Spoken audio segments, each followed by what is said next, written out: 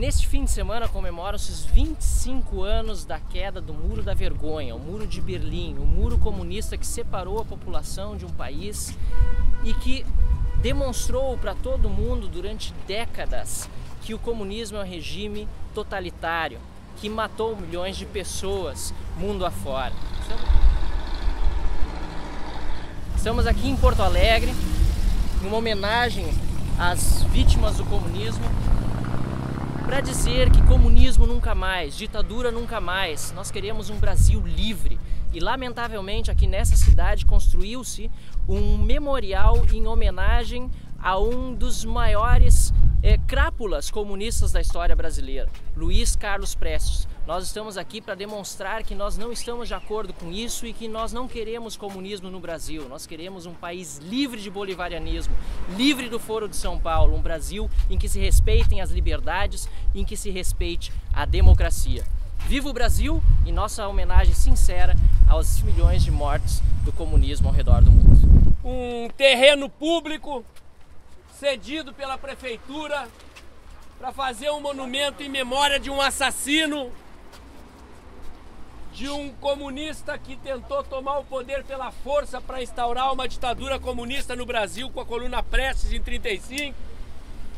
Há milhões de reais de dinheiro público enterrados nesse prédio, cuja finalidade é trazer as crianças das nossas escolas aqui para tentar transformar esse indivíduo num herói. Nós estamos aqui em mais uma atitude, em mais um gesto, em mais um ato na luta pela democracia no nosso país.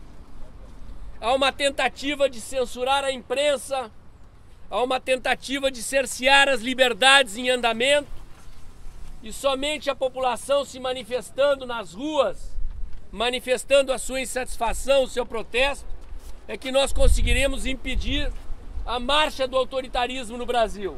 Eu, eu acho que é lamentável que até hoje a maioria do, do povo brasileiro, principalmente dos de baixa renda, não sabem que desde o século passado o Brasil vem sendo, ano após ano, vítima tá, da intentona comunista, aquela mesma que começou lá em 1920, quando foi formado o primeiro Partido Comunista no Brasil. Depois o Prestes, em 35, trouxe agentes soviéticos, entre eles a Olga Benário, para dar o golpe aqui. Trouxeram nove agentes soviéticos, entraram clandestinamente no Brasil, mataram dezenas de soldados brasileiros e ninguém pagou por isso. Fidel Castro continua com, as, com, os braços deles estendidos por toda a América Latina e é por isso que nós temos que lutar e insistir com essas manifestações. Hoje sempre pelo Brasil, pela liberdade. Sem liberdade não há vida. Senhores vereadores, por que não um posto de saúde? Por que não um hospital? Por que este memorial, essa imundícia aqui em homenagem ao comunismo, um regime que só matou gente? Expliquem.